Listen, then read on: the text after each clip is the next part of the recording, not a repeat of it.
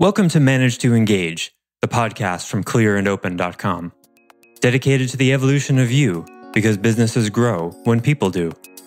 Serving leaders, managers, and people who will be, helping you reach excellence in your work and achieve your personal goals at the same time.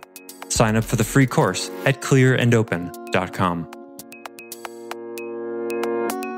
Good marketers, they're listening for what you really need that you can't even find words for that you don't even know. They're trying to find this vague sense, this thing between the lines. They're trying to listen really deeply for what would rock your world that you can't even speak to. That's great marketing. Hi, it's Josef, and thanks for tuning in to Manage to Engage, the podcast from clearandopen.com. Marketers know a lot about how human beings think and operate some of which you may not even know about yourself. For example, most people have no idea what they really want. Or more accurately, most people have some ideas about what they want, but they don't really know. Marketers also know that humans make purchasing decisions emotionally first, then rationalize them afterwards. But for some reason, we rarely talk about how to apply that knowledge to areas outside of commerce. Today, I want to talk more about the insight that marketers have on human behavior, especially when it comes to what people really want, and how we can apply that knowledge to managing ourselves and, more importantly, others. I offer weekly member webcasts, online courses, and mentorship at clearandopen.com because it's my truth that with the right tools, anyone can eliminate the people, money, and time problems holding them back in business. And I share parts of these webcasts and courses on this show because I want to help you too. If you're enjoying the show and learning from it, I'd love your feedback. If you're listening to the show on an Apple device, all you have to do is open the podcast app, view the full description of the episode, and click the link to leave a rating and review for the show.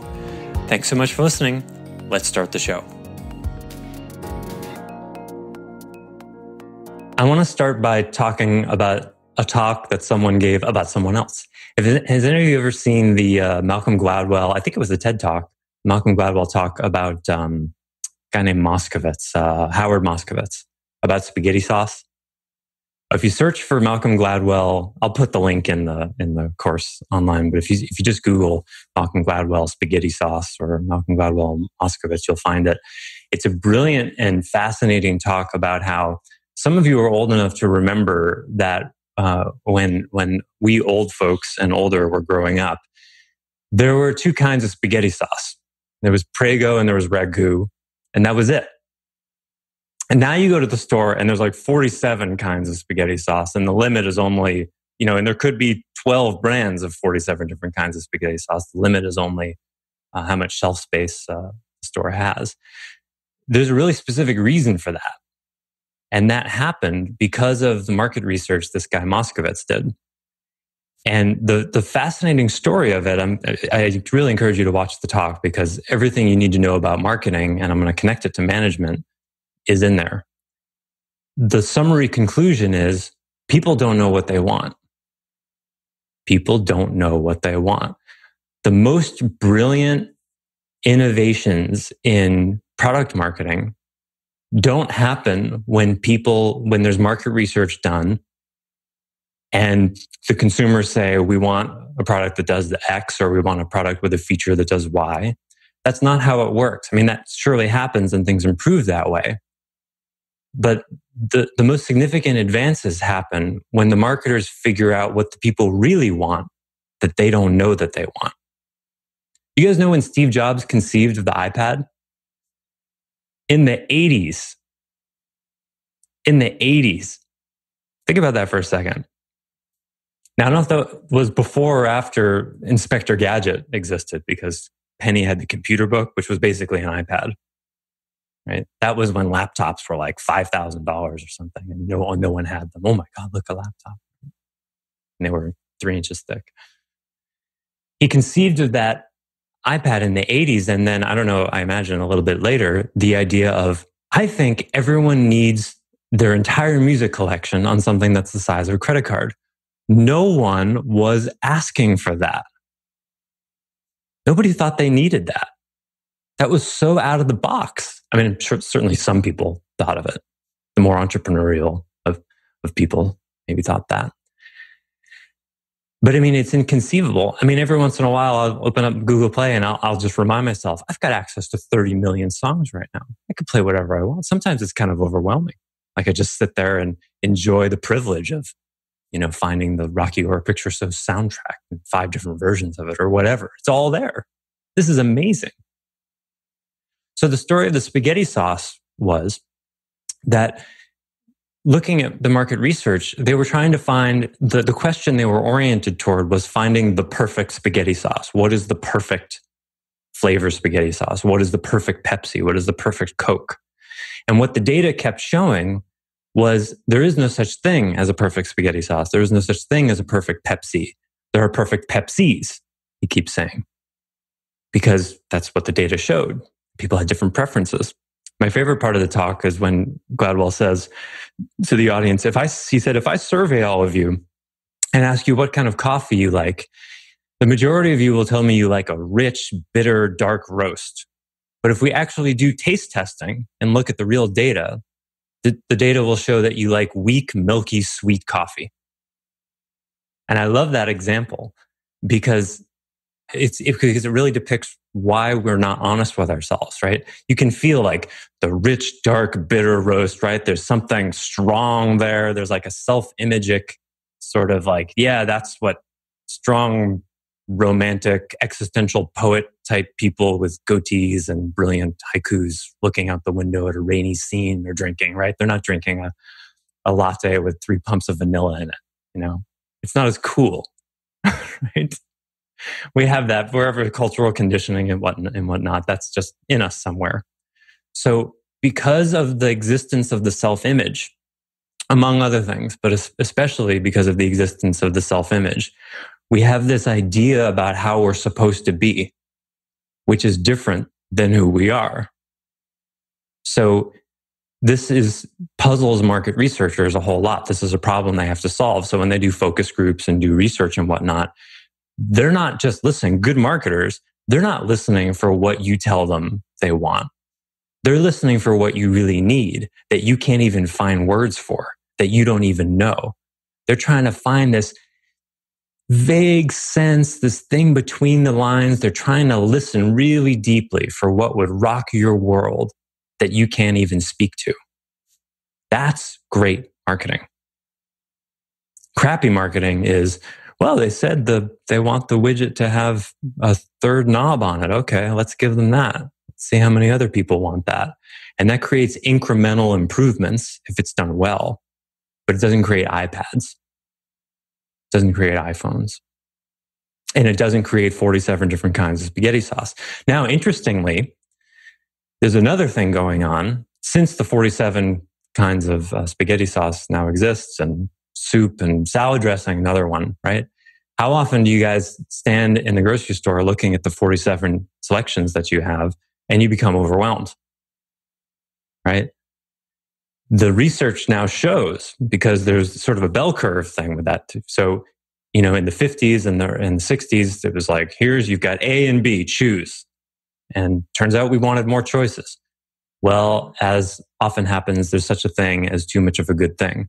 Now the research shows that if people have too many choices, if they have more than three to five choices for something, they end up less happy. There's actually studies that have been done about this. So that because what it leaves you with is you had 47 choices of spaghetti sauce and it's okay, you grab two and then you go home. And then while you're eating it, you're thinking, maybe that number 43 was really the one I should have gotten.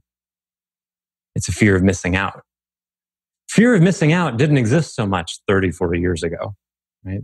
But now you can get any information you you know that's the fear of missing out like uh, you know when you have 30 million songs to choose from it's not like you choose from the 12 cds you happen to have like in your car or something you know you could be listening to anything are you listening to the exact right perfect song right now what is it you've ever obsessed about that you're like oh no this isn't the exact right song this is not the perfect music for the soundtrack that is my life right now i've got to find something else right or Netflix, right? You could, you've got this menu of movies of, you know, thousands and, and 20 minutes in, you're thinking, maybe I should have chosen that other one. Maybe I should have chosen another one. That creates overwhelm and a kind of chronic dissatisfaction. This is how marketers think. Fascinating, isn't it? well, we've got to give the people just enough choices to make them feel like they've got choice and a lot of control, but not so many so they get overwhelmed and feel dissatisfied. Fascinating, isn't it? So the summary here is what, what marketers know about human beings that few human beings know about themselves is what? You have no idea what you want. Well, more accurate to say is you have some ideas about what you want, but you don't really know. You don't really know. You don't really know. You're operating with a model for what you want, but it's not the reality. And that is a significant cause of suffering, of course. Don't know what you want. So now, what does all this have to do with management? Well, the fascinating thing to me about marketing who, you know, who've poured billions of dollars into the premise that human beings make decisions emotionally, make purchasing decisions emotionally. They know this. This is just a fact.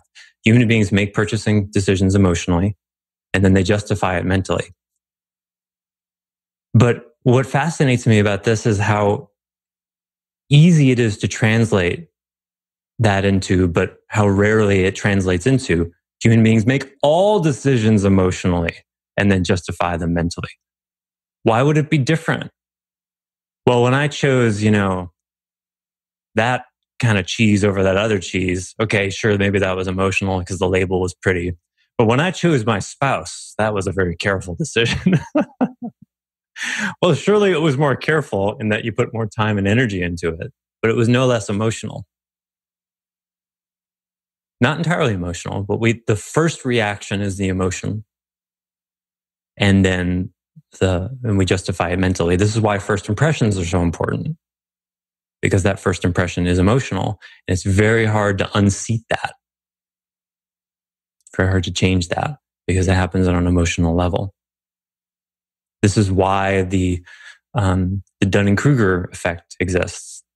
You know, remember that's the the phenomenon where people who evaluate themselves at being really good at something, it means either they are really good at something or they really are not good at it at all.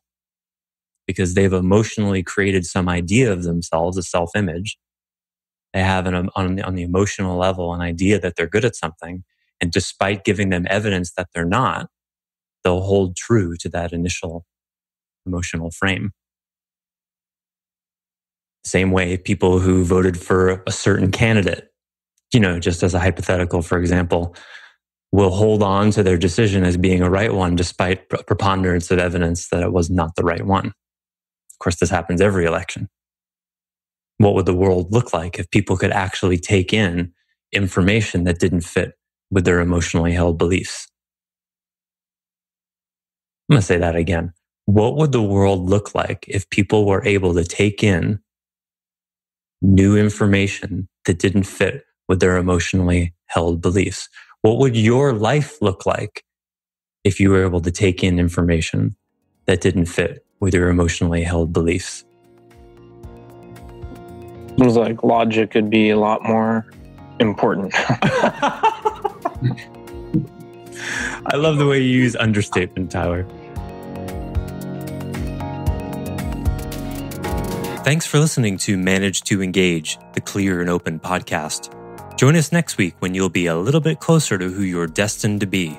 Until then, know that Clear and Open is dedicated to the evolution of you because businesses grow when people do.